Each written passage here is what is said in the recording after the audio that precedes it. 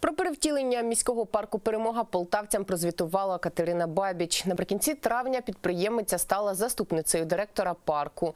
Каже, вже відремонтували літню сцену, відкрили лаунж-зону з гамаками, перевірили атракціони на безпечність, запланували їхню реконструкцію.